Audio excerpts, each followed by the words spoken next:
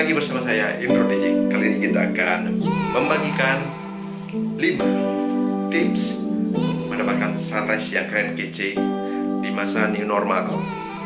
Supaya kita tetap hati-hati dan sehat. Dan kita juga mendapatkan sunrise yang keren dan dapat memuaskan hasrat kita melihat sunrise. Karena sunrise itu bisa bikin mood makin kece okay, 素敵だ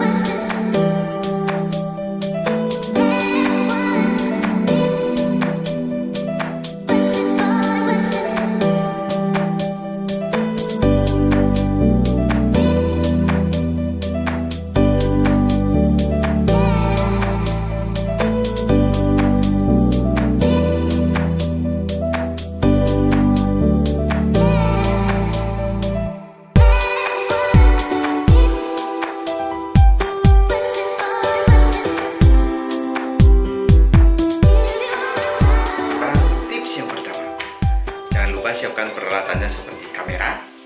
Kalau nggak punya kamera, bisa siap HP juga bisa. Dan juga kalau punya tripod, jangan lupa disiapkan. Uh, pastikan sebelum anda uh, sunrisean, jangan lupa isi baterainya dulu sampai full supaya pada waktu kita menggunakannya jangan sampai terjadi lowbat karena itu sangat mengecewakan loh apalagi kalau sunrise-nya keren itu betul-betul kita bisa mendapatkan momen yang paling keren.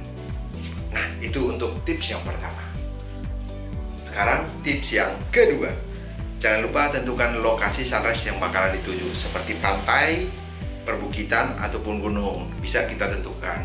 Pastikan di sana sunrise-nya pastinya keren dan sering-seringlah untuk melihat di website ataupun Instagram atau uh, internet supaya kita bisa melihat apakah di sana itu bagus atau keren.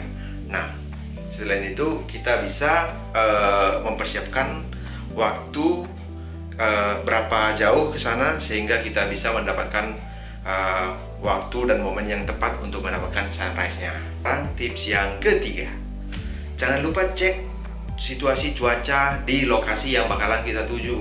Apakah cuacanya cuacanya apakah cuacanya bisa hujan ataupun mendung ataupun cerah biar kita tahu uh, waktu yang tepat kita kapan ke sana. Biar kita jangan sampai pas waktu ke sana eh tahu taunya hujan. Biar kita juga tahu estimasi kapan waktu yang tepat untuk uh, sunrise di, di posisi yang bakalan kita tuju. Sekarang tips yang keempat. Sebelum anda menuju lokasi pastikan kondisi badan anda fit dan kuat. Nah makanya itu uh, karena sunrise ini kan selalu harus bangun pagi karena sunrise itu kurang lebih di jam 6 kurang biasanya uh, akan membuat kita kan harus bangun pagi karena bangun pagi itu susah banget. Nah oleh karena itu tidurlah lebih awal supaya anda bisa fit dan tetap segar pada waktu bangun pagi dan jangan lupa juga buatkan alarm kalau kamu tidak bisa bangun tepat waktu supaya kamu jangan sampai terlambat. Oleh karena itu, tidurlah lebih awal. Nah, sekarang kita ke tips yang terakhir, yaitu yang kelima. Jangan lupa pakai masker dan tetap jaga jarak di mana pun kita mau sunrisean karena kita tidak tahu bagaimana kondisi di sana, apakah ramai atau enggak. Karena kita tahu sendiri yang nyari sunrise itu pasti lumayan banyak, bukan cuma kita sendiri. Oleh karena itu, tetap jaga kesehatan, biar kita tetap sehat, dan kuat. Sampai ketemu di video selanjutnya. Bye-bye.